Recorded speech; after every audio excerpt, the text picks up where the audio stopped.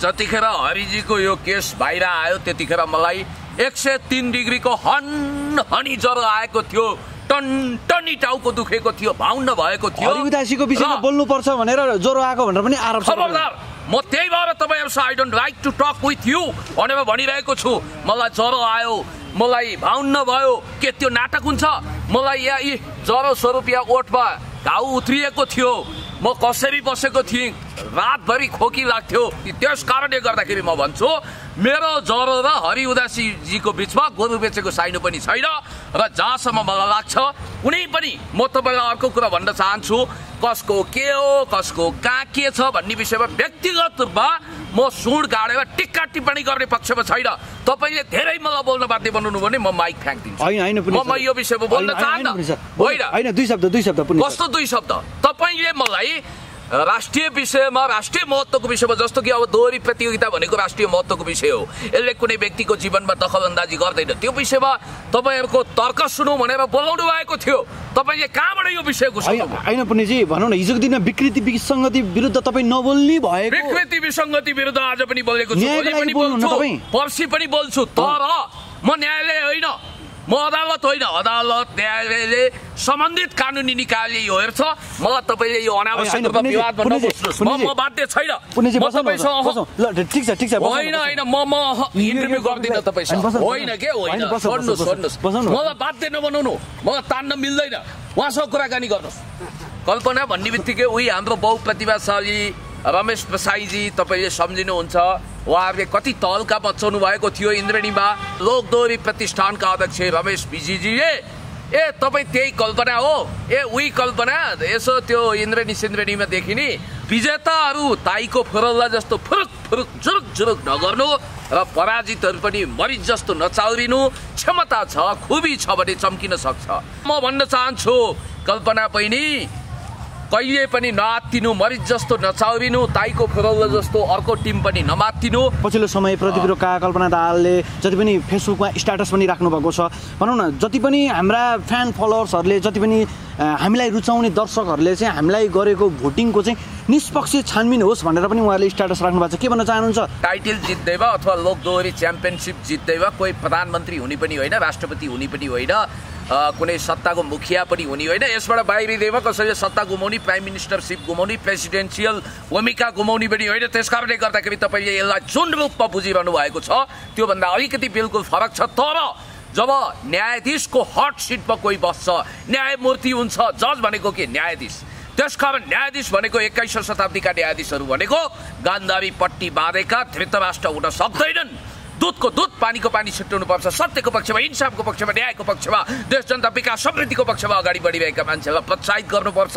उहाँहरूप्रति अन्याय नै भयो र यो जुन कुरा उठेको छ यो छानबिन त हुन जरुरत छ छानबिन गरेपछि के हुन्छ त दुधको दुध पानीको पानी निक्लिन्छ त्यो भएको भएर छानबिन हुनै पर्छ। उहाँलाई अन्याय भएको छ। एक सय तिन डिग्रीको हन हनी ज्वरो आएको थियो टन टनी टाउको दुखेको थियो भाउन्न भएको थियो। हरिउदासीको विषयमा बोल्नुपर्छ भनेर ज्वरो आएको भनेर पनि आरोप छ। म त्यही भएर तपाईँहरूसँग I don't like to talk with you भनेर भनिरहेको छु। मेरो ज्वरो र हरि उदासीजीको बिचमा गोरु बेचेको साइनो पनि छैन। कसको के हो कसको कहाँ के छ भन्ने विषयमा व्यक्तिगत रूपमा म सुड गाडेर टिक्का टिप्पणी गर्ने पक्षमा छैन। तपाईँले धेरै मलाई बोल्न बाध्य बनाउनु भने म माइक फ्याँकिदिन्छु। म म यो विषयमा बोल्न चाहन्न। होइन। दुई शब्द दुई शब्द। कस्तो दुई शब्द? तपाईँले कहाँबाट यो विषय होइन पुनिजी भनौँ न हिजोको दिनमा विकृति विसङ्गति विरुद्ध तपाईँ नबोल्ने भएको विकृति विसङ्गति विरुद्ध आज पनि बोलेको छु? पर्सि पनि बोल्छु। तर म न्यायालय होइन। म अदालत होइन अदालत न्यायालयले सम्बन्धित कानुनी निकायले यो हेर्छ। मलाई तपाईँले यो अनावश्यक रूपमा नबस्नुहोस् म। म बाध्य छैन। म तपाईँसँग ठिक छ ठिक छ होइन। होइन म म इन्टरभ्यू गर्दिनँ तपाईँसँग। होइन, के? होइन छोड्नुहोस् छोड्नुहोस्। मलाई बाध्य नबनाउनु। मलाई तान्न मिल्दैन।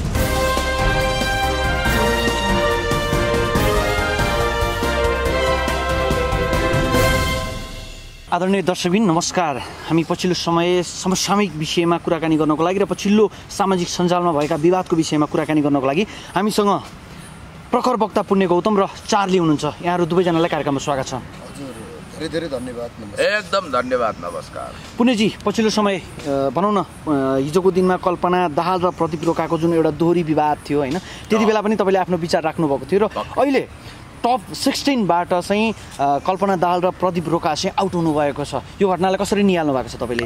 पहिलो कुरो त जहिले पनि ल्यामलाइटमा रहेको चर्चा हो कल्पना र प्रदीपको। कल्पना बहिनी र प्रदीप भाइको जोडी जमेकै हो।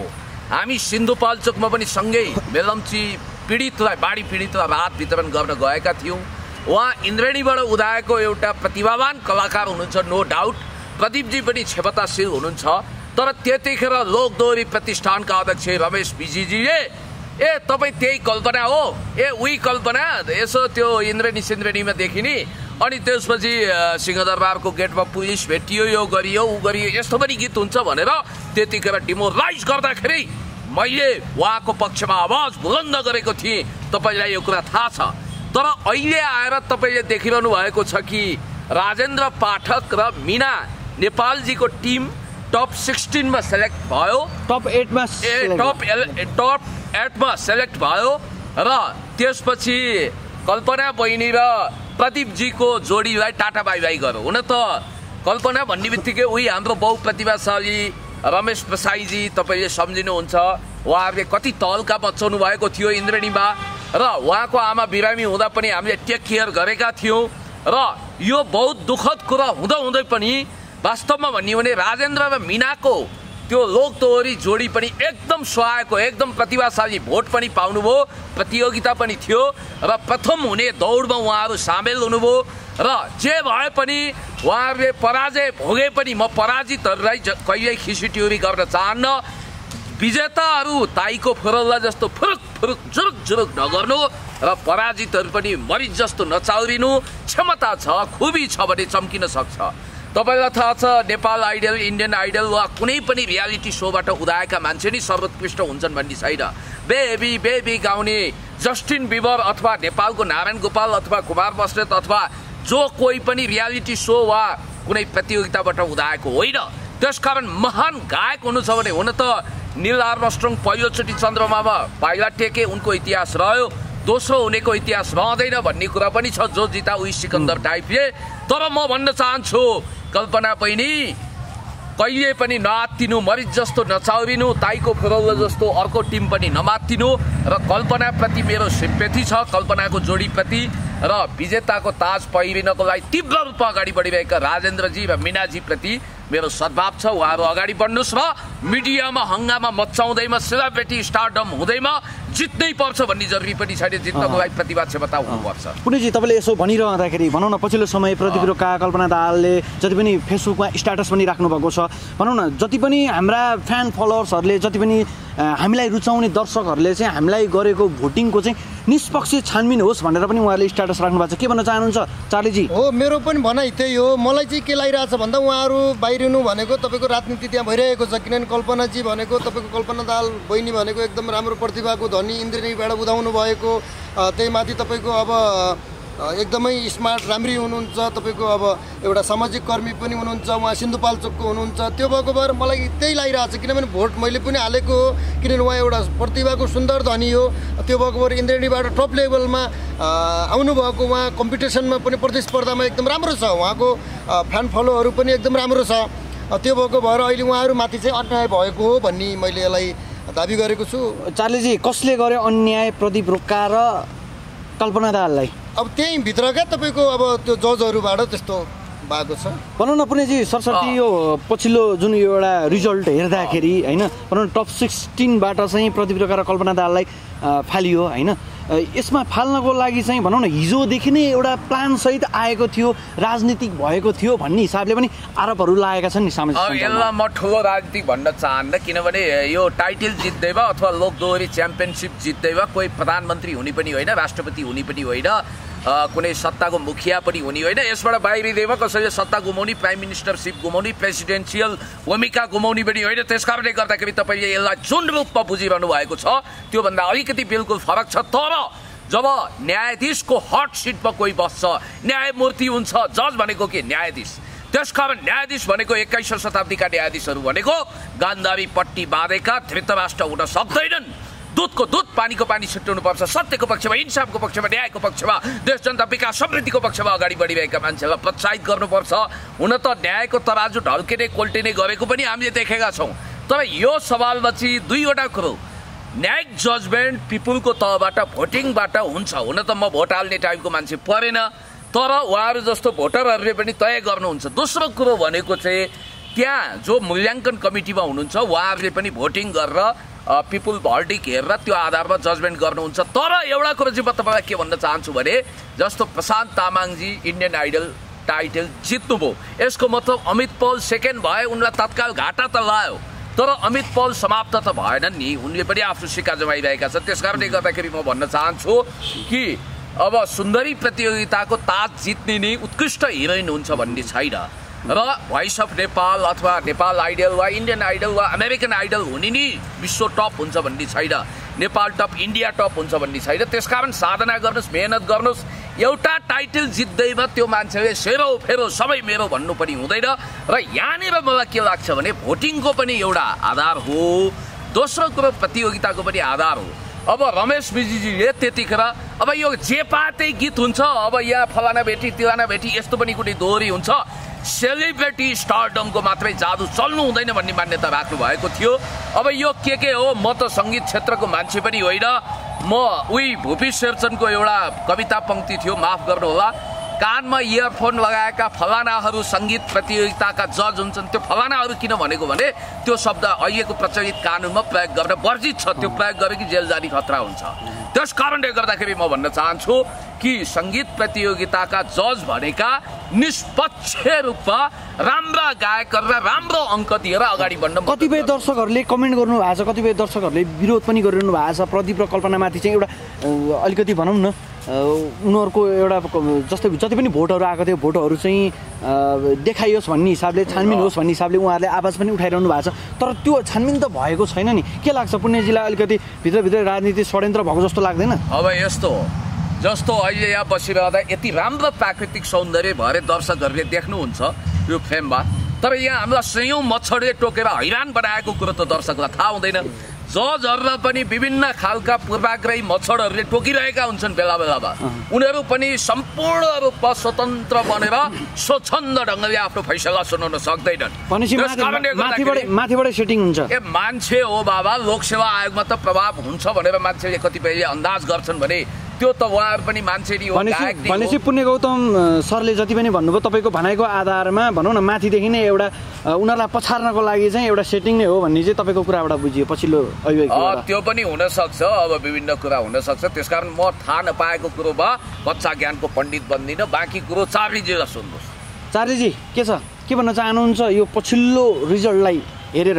अब यो सेटिङ भनेको तलबाट हुँदैन माथिबाटै हुन्छ। जहाँसम्म माथिबाटै भएको होला जस्तो मलाई लाग्छ किनभने उहाँहरूलाई एकदमै पीडित बनाइएको छ घोटाला गरिएको छ। रातोरात मलाई लाग्छ भोट गायब गरिएको छ।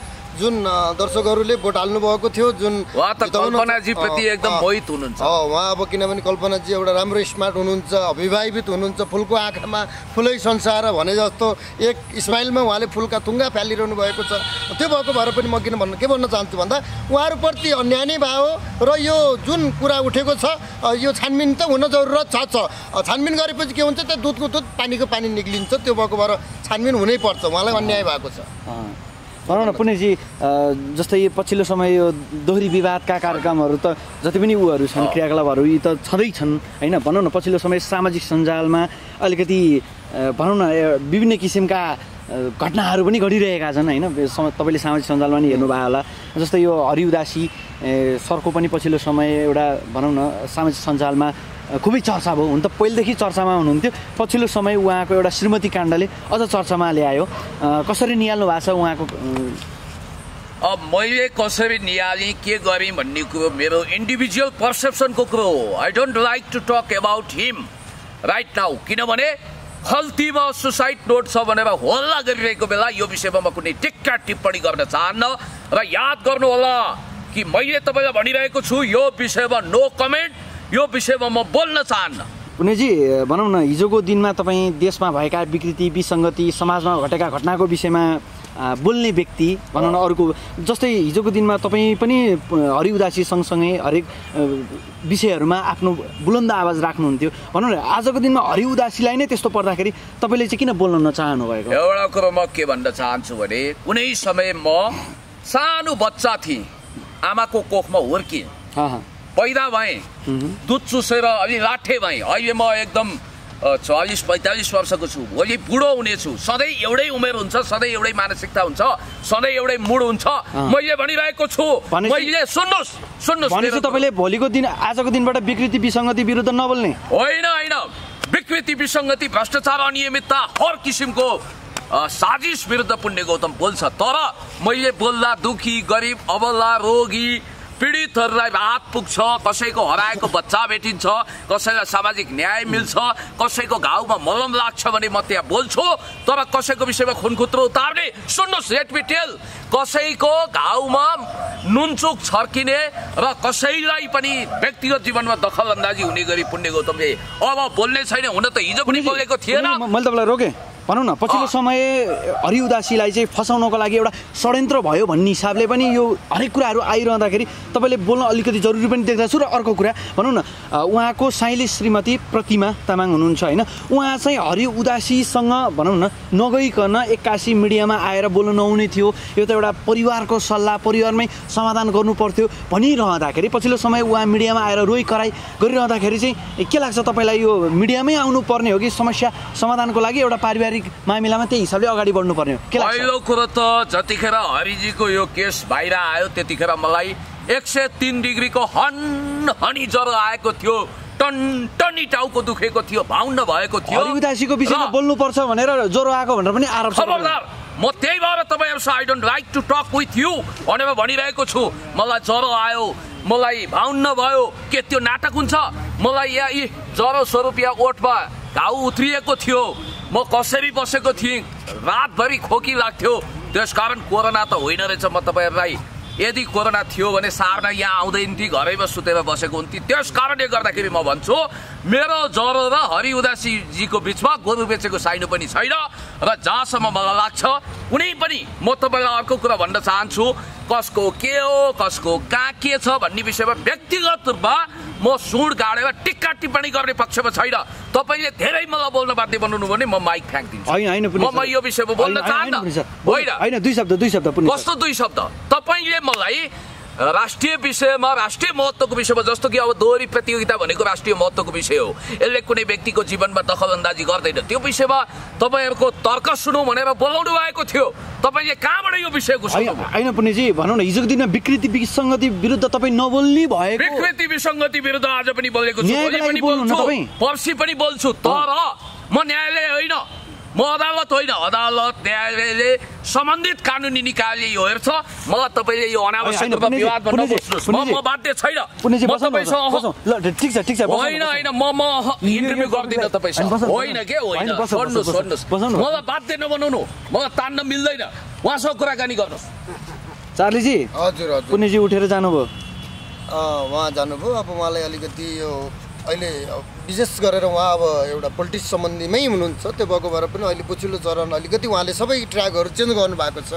त्यो भएको भएर खास त म के भन्छु भन्दा यी काण्डहरू जुन प्राइभेट काण्डहरू हुन् यो विषयमा धेरै हामी बोलेर चर्काचर्की गरिरहनु ठिक हो जस्तो मलाई लाग्दैन। किनभने सबैको पारिवारिक कुरा हो किनभने सुहानी उहाँले ल्याउनु भयो हामीले बिहा गरिदिए पनि होइन सुहानी भागभण्ड गरेको पनि होइन हामीले र हामी अदालतका न्यायाधीश पनि हामी होइनौँ।